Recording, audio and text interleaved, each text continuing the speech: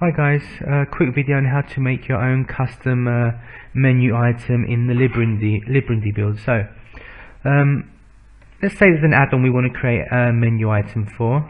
First thing we have to do is create a uh, favorite for that add-on. So let's find our add-on first. Um, whatever you want. So, let's say it's going to be uh, FTV. So we'll create a favorite to that.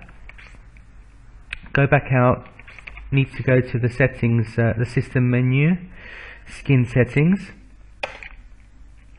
Go down to home and come across here to where you have add more categories. And you've got four different ones. You add more categories uh, number two number three number four.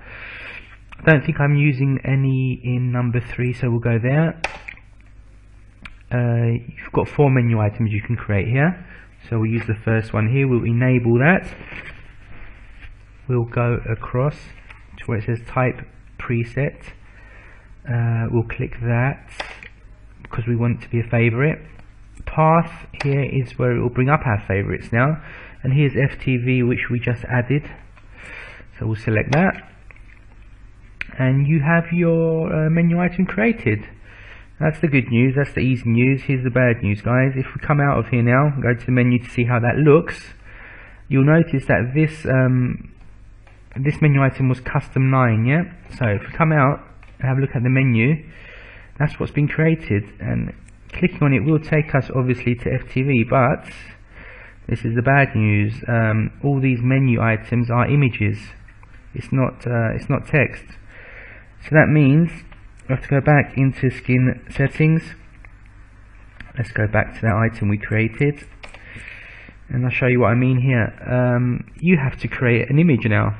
So you have to use Photoshop or another image editor to create an image for FTV and you'll need two.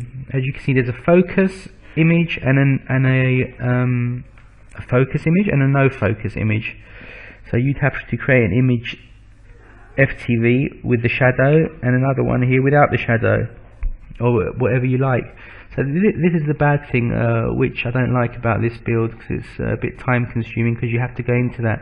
There are there are um, quite a few which have already been made by the skin builder. So if you go into here these have all been already uh, generated by the builder of the skin. And if you're lucky you might find something that fits because this was a pr pretty specific one we just done now FTV I don't think there is one for it. No there isn't. So this is where a bit of uh, image editing comes into play guys. Nothing I can do about that sorry but this is how you do add an item in the Librandy build. So thanks for watching guys. Till next time